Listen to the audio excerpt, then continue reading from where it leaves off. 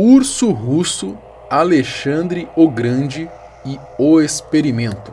Só esses apelidos já demonstram o quão assustador e indomável é o protagonista do vídeo de hoje. Não à toa ele é considerado um dos maiores esportistas que o mundo já viu. Com um cartel absurdo de quase 900 vitórias e apenas duas derrotas, o wrestler soviético era tão dominante que até com as costelas quebradas ninguém conseguiu derrotá-lo. Com a sua força bruta descomunal, muitas pessoas diziam que ele era feito em laboratório com um único objetivo, o de destruir seus adversários. Nesse vídeo a gente vai conhecer a história da verdadeira besta enjaulada, Alexander Karelin. Eu sou Marcelo Milos, fica comigo, depois a vinheta eu te conto.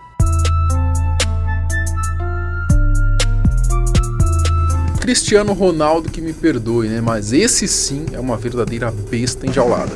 Alexandr Alexandrovich Karolin nasceu na Sibéria em 19 de setembro de 1967 e é para muitos o maior lutador greco-romano da história.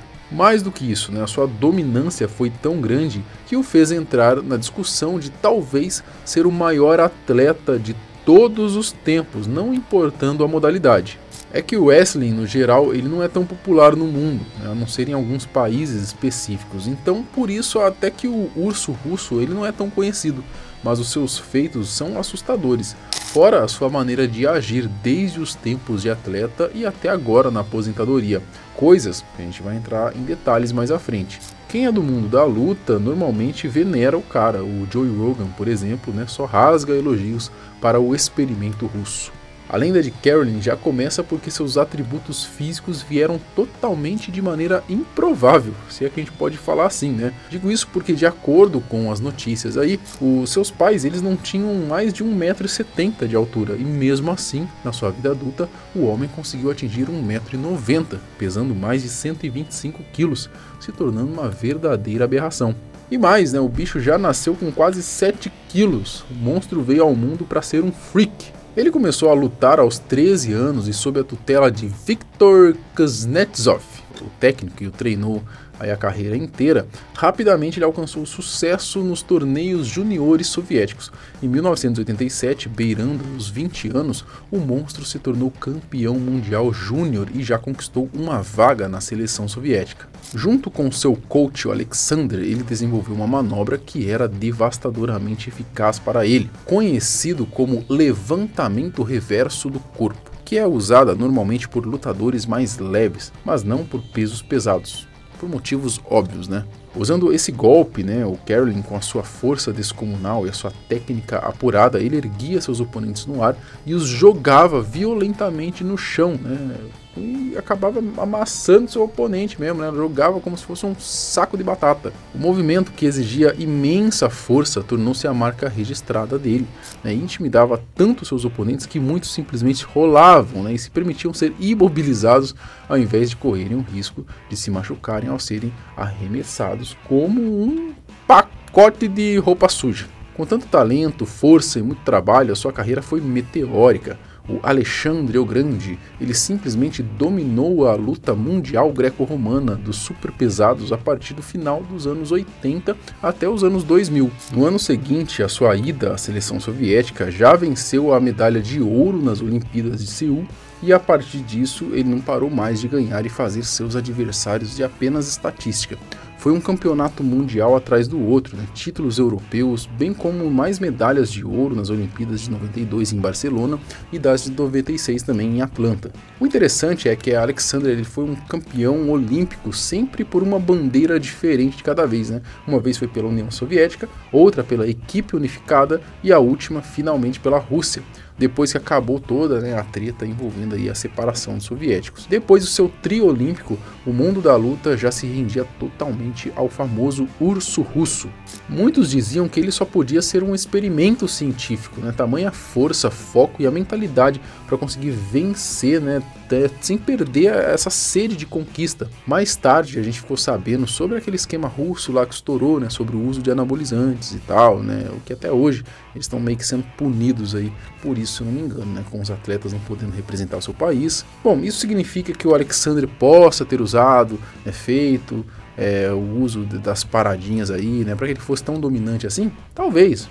Fake Nutty! Muito provável até, né? Mas tudo que vem da Rússia a gente tem que ficar com um, um pouquinho de pé atrás, né? Não sei, fica aí o questionamento. A verdade é que no esporte olímpico, muitos estão, né, já usaram algum tipo de recursinho sujo aí, né? Mas esse é um papo muito mais abrangente. O fato foi que o bicho, no campeonato mundial, quebrou as costelas na primeira luta e ainda venceu o título depois, mesmo assim. Mesmo com lesões que chegaram a fazer, ele nem conseguia executar o seu golpe característico de jogar os adversários, né? Ele simplesmente dava um jeito de vencer. A sua popularidade cresceu tanto que nos primórdios do MMA, em 1999, um lutador japonês chamado Akira Maeda desafiou ele para uma luta com as regras do novo esporte. O Carolyn, então, sem medo nem nada, né, aceitou o desafio e numa arena ali com mais de 150 mil pessoas assistindo, ele venceu o japonês na sua própria modalidade. Nessa luta, estipula que o russo tenha ganhado aí cerca de um milhão de dólares. E esse dinheiro é, ele doou integralmente para a Federação Russa de Luta Livre e Greco-Romana.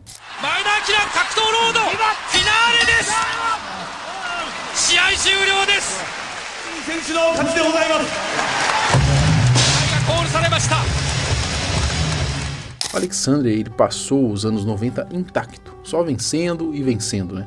E quando chegou ali no novo século, ele decidiu que era hora de parar. E por que não fazer isso em grande estilo, né? Fechar com chave de ouro? Ele decidiu que iria disputar sua última Olimpíada, né? No caso, a de Sydney, na Austrália, e após vencer, ele encerraria a carreira. O russo era disparado favorito à medalha de ouro e tudo parecia que iria acabar do jeito que todo mundo esperava mesmo. Carolyn chegou à final bem tranquilamente, né? E foi enfrentar o norte-americano Rulon Gardner. E para surpresa de geral, né, não é que o russo finalmente foi parado?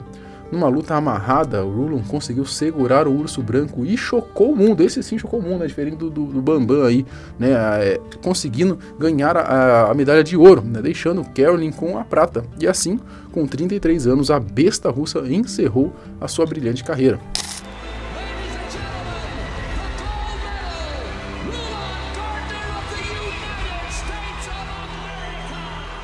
Acho que ele deve ter ficado bem puto da vida mesmo, né?